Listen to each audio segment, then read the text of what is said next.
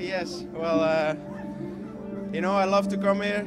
The weather is good. Uh, it's a perfect area to race and to start the season. And we do a training camp here uh, in the beginning of, uh, of February.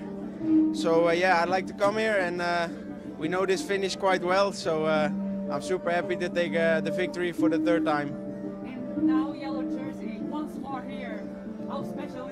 Yeah, it's really cool. You know, yellow is a special color, and uh, you know, it's a performance by the team. I don't do this on my own, uh, so it's nice that tomorrow we're riding with the yellow and with the green jersey, uh, with the white jersey. I mean. So uh, yeah, it's it's just a perfect start of, of this uh, Volta ao Algarve. Like in 2020 that you, that the team won a year. Yeah, of course. You know, tomorrow is a mountain stage where we're gonna try to do a good result with Remco. Uh, we are here also to try and win the GC. So uh, yeah, after that, I'd like to go for another stage, but this one is in, and uh, yeah, it's a good start.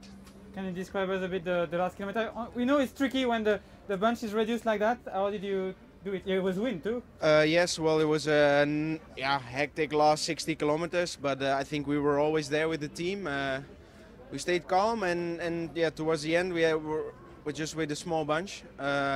But then uh, all the other guys did a perfect lead out, and uh, in the end it was Remco who pulled us over the climb here before uh, Lagos. He did uh, an amazing pull. Uh, even if, as a GC guy, it's it's super to see that he puts in work to lead out me in the sprint. Uh, yeah, and then we hit the roundabouts with with Lampaert and Van Lerberghe, and they put me in a perfect position to launch my sprint. Um, it was wind in the back, so it means a fast sprint, and I just launched 200 to go, and uh, yeah, I'm happy I had the speed to take the win. Bram?